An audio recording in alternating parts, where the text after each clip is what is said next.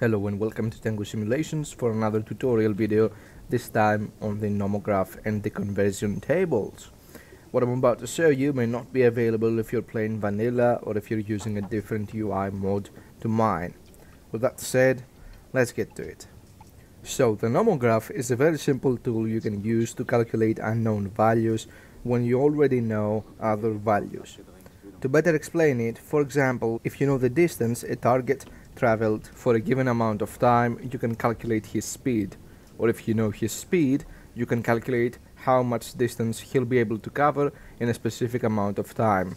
Let me be clear, the nomograph is not magic. It won't conjure numbers out of thin air.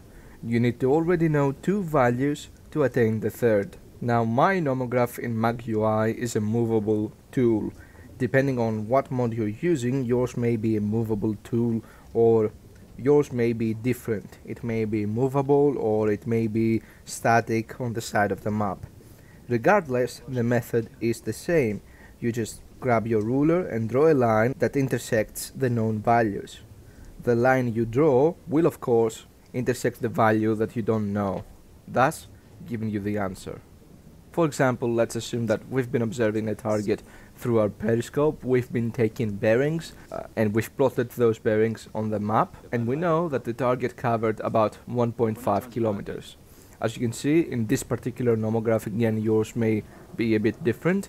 Uh, the right column is time, the middle column is split between kilometers on the left and meters on the right and uh, I also have the speed in knots uh, on the left uh, column.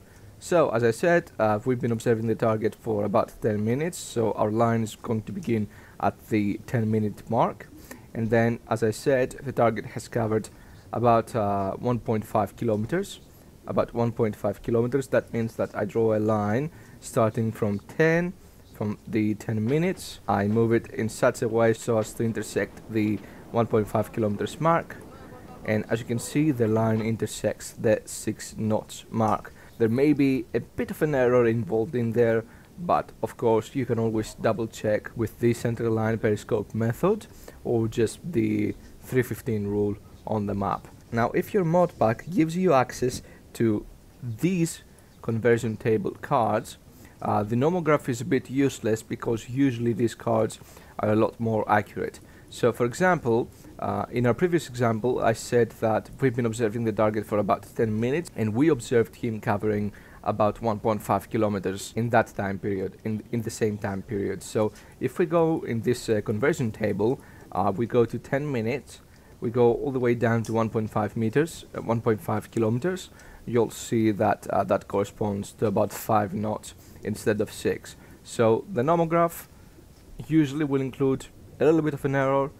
The uh, conversion tables usually are going to be a lot more accurate, but you should be double checking or triple checking anyways, so no harm done really. And besides, it's always a good thing to know all sorts of ways to obtain targeting data. That way, if something's wrong with your preferred method, you always have something to fall back on.